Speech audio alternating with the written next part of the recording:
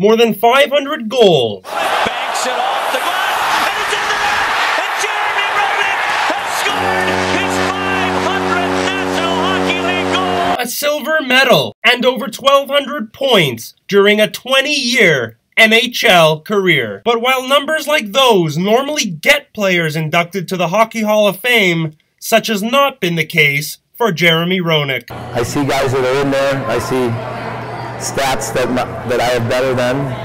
Um, impact on the hockey, impact on the country. Um, still the third highest scoring American ever. I see not many Americans have scored 50 goals in the National Hockey League. Only four of us have. Roenick even expressed confusion in regard to the Hall of Fame's selection process. I don't know what the criteria is anymore. I used to know, but I don't know anymore. But according to his ex teammate, Brad Lukowich, Roenick's day will eventually come. There's a lot of players around the league that have just the utmost respect for him, uh, man- all the way up through management. So his day will come. He's right there with, with, with the best, you know, like the Leetches and the Modanos.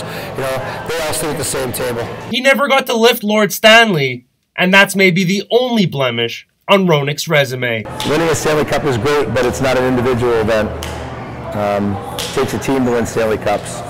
So for me, I, I'm pretty proud of, the, of what I did in the National Hockey League. I'm still proud of what I do for the National Hockey League still today. With Lukowich and a couple other former NHLers, Roenick is currently running a hockey camp in Vernon Hills for the third straight summer. For me, it's all about um, you know teaching kids the, the fundamentals of the game, the love of the game, and being a good person because it goes beyond hockey. He gets here at 7:30 in the morning, so he's, he's, he's the first face that they see when they walk in. He gets his, he's out there the whole time.